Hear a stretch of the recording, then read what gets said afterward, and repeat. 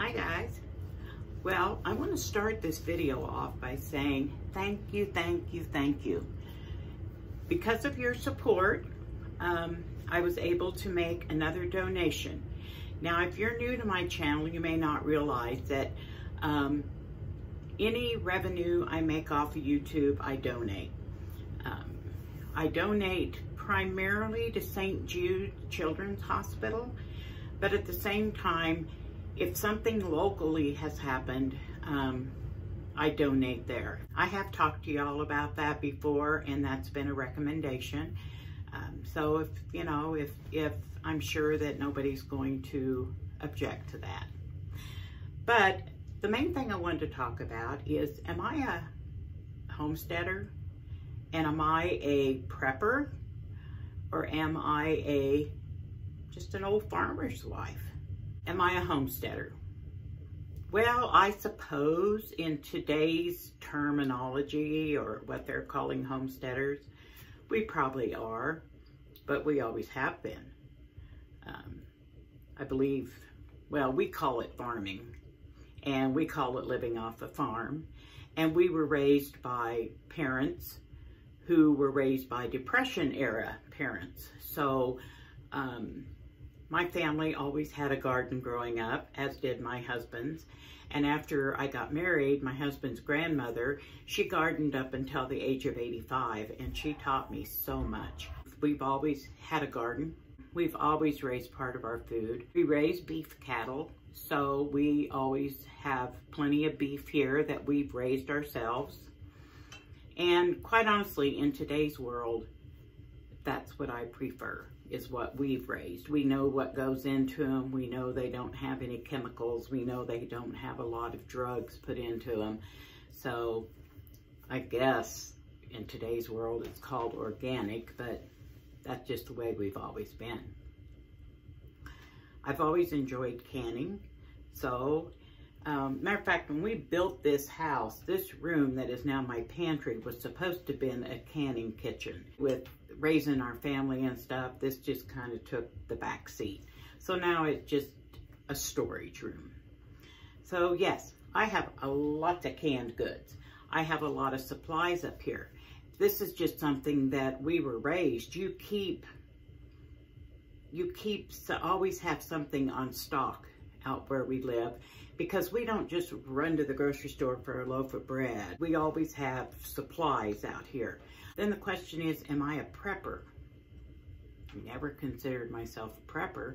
This is just something that we've always done.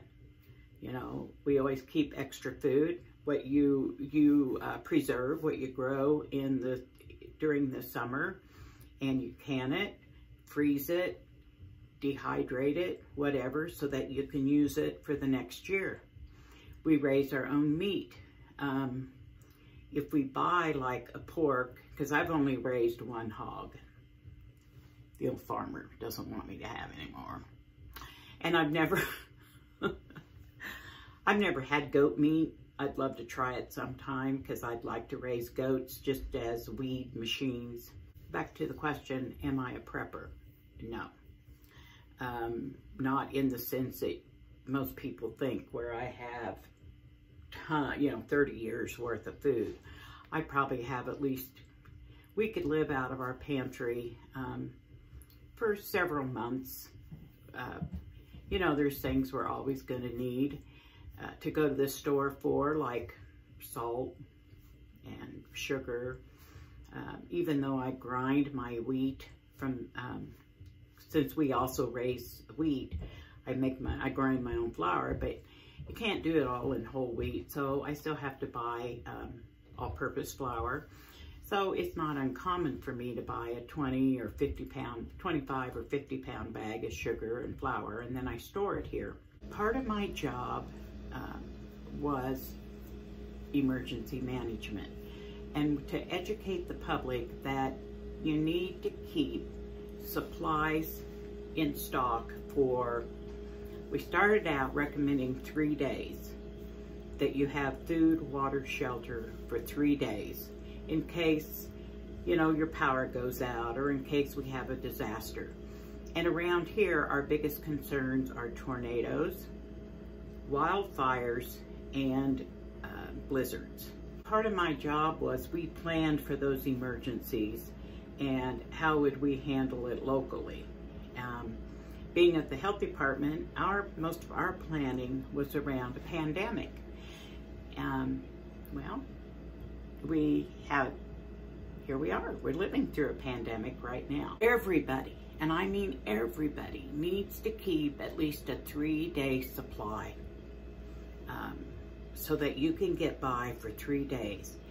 If you have a storm go through and you have no power, now out here in the country, out here on the farm, no power means we don't have any running water. Um, we did have, when I had a toddler and a newborn, we had a three-day blizzard. And that's the only time I remember being really scared is because I had two older children in the lower grade school and then I had two babies. We were in cloth diapers, but I didn't have enough diapers to go, you know, I didn't have any way of washing those diapers. We had no water. And so my husband happened to be in town when the storm hit. I said, grab uh, two bags of diapers um, and get home when you can. Because here I was with four little ones, no electricity, no water, and this raging blizzard going on. Um, so I was pretty scared, and we learned from that that was my learning experience. I, we've always kept stock now. After you get a three-day supply built up, then work towards a two-week supply. Um, we've seen what's happened to the grocery shelves. You know, you, you've seen what's happened. And I've heard people say, but I can't even get, you know, um, rice. I can't get rice. It's gone. Now's the time, guys, go get you a bag of rice, a jar of peanut butter, some dry beans. You know, if nothing else, you can live off beans and rice, rice and beans. We've all heard that. One thing I want to say to all of you, you know, we've seen what happened last spring. Now's the time for everybody to get out and get just a few items to stock your pantry. And don't go out and buy a bunch of junk you're not going to eat and you're not going to use. But have yourselves prepared. I've heard city people say, well, we don't have anything to worry about. The grocery store is just down the street. Well, you saw what happened there. And, or we're always going to have water. You don't need to worry. Uh, yes, guys, you do.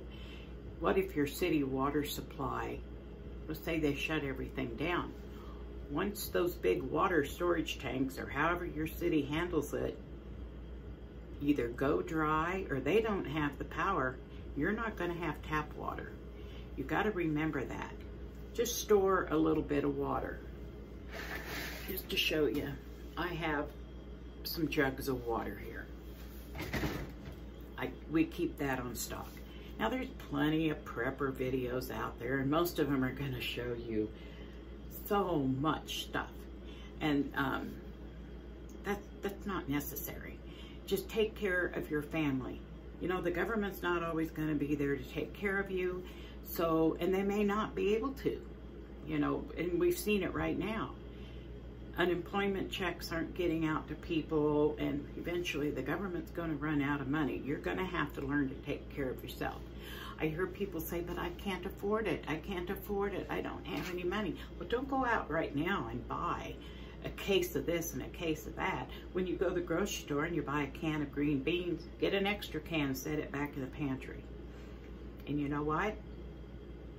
If next spring comes and you haven't used it, there you go. You don't have to go to the grocery store. But these are just, you know, you can go to the prepper channels and get ideas on what to do. But I, because of my training in emergency management, I do keep stuff on hand, including paper supplies, which Terry, Destination Open Road, ratted me out. but we do have paper supplies that we keep in stock. It's nothing new for us. We always have because we do live so far out. And I put up a lot of sweet corns. There's a lot of corn cobs out there. If we have to use the out an outhouse, I got the corn cobs, but I don't get a Sears catalog anymore.